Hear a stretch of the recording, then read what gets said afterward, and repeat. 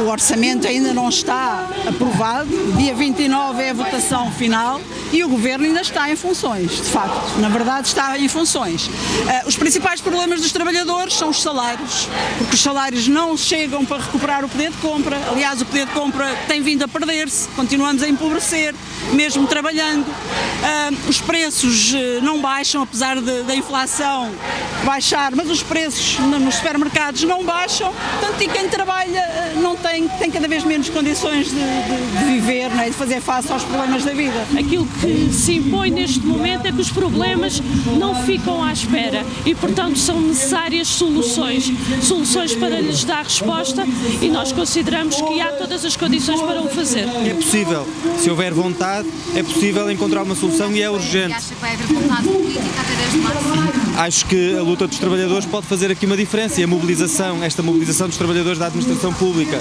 eh, bem como em diferentes setores, dos médicos, dos professores e outros trabalhadores da administração pública, pode fazer a diferença. É a pressão para que haja um reconhecimento de que eh, na administração pública é preciso eh, reconhecer as carreiras, é preciso recuperar poder de compra e é preciso concluir processos negociais.